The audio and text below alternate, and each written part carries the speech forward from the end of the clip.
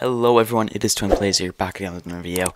Today we are going to be learning how to do a custom crosshair, cursor, whatever you guess you could say. So let's get right into this.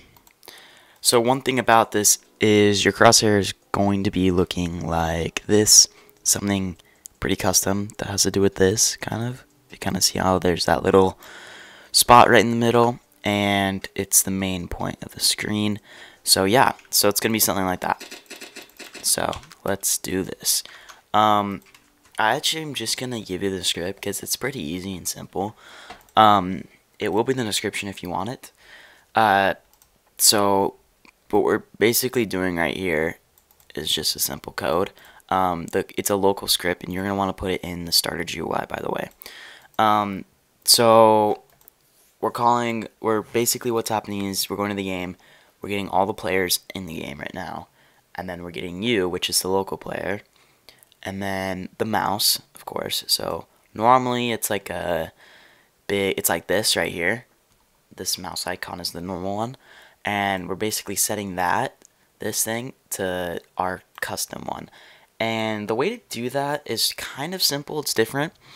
Um, this wasn't actually my decal. I just uh, looked at it and I was like, oh yeah, that's, that's pretty sick.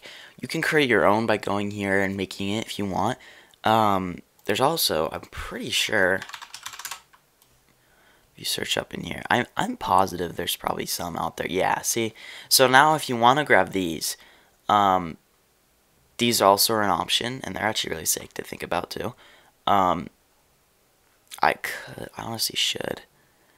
I don't really like the other one. might grab this one. Okay, you want to pray. It's not, um, so I'm going to grab that.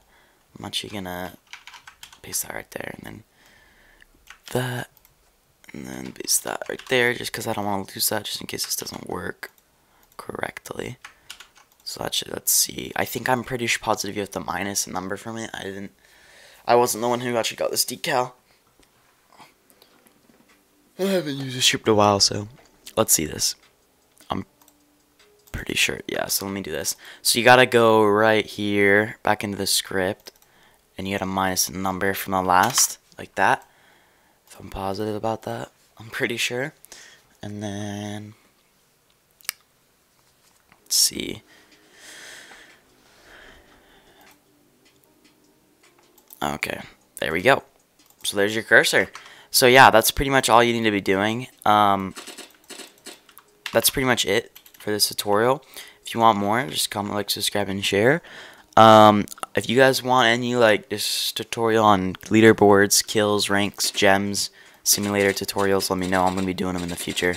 It's going to be a bit, though. But, uh, yeah. Thank you so much, you guys. Feel free to subscribe, like, comment, share. And I'll see you guys in the next one.